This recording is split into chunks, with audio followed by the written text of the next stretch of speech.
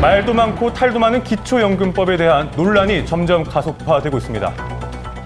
모든 분들께 다 드리지 못하고 수정할 수밖에 없는 상황이 되어서 저도 참 안타깝고 죄송스러운 마음입니다.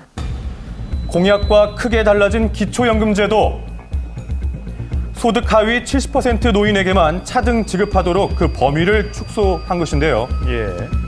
기초연금법에 최소 보장액 10만 원을 명시하지 않아 논란이 있었습니다.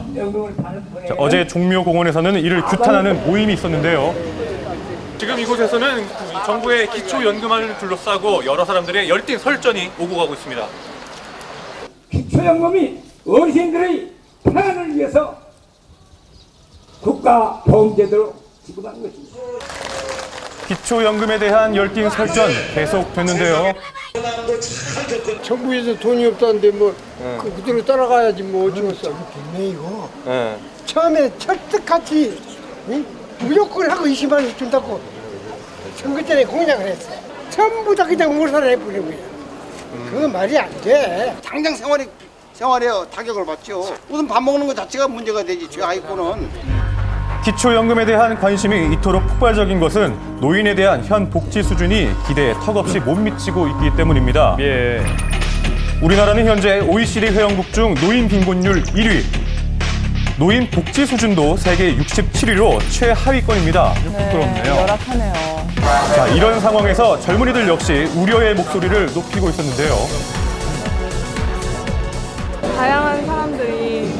받을 수 있도록 좀 넉넉하게 조금이라도 더 넉넉하게 기존에서 그렇게 해줬으면 좋겠어요. 모든 노인들한테 복지적으로 다 지원해주겠다고 하고서 안 하는 거잖아요. 수정된 정책안에 대한 비판적인 의견이 압도적이었습니다. 부실하기만 한 노인복지 이대로 지속되어서는 안 된다는 뜻일 텐데요. 적어도 인간답게 살 수 있는 것들은 어떤 식으로든지 제도를 만들고 그것을 우리가 소위 말하는 사회 안전망을 구축하는 게 굉장히 중요하다. 기초연금뿐 아니라 소득보장과 의료비 지원 등 노인들을 위한 사회적 안전망이 하루빨리 더욱 강화되어야 될 것입니다.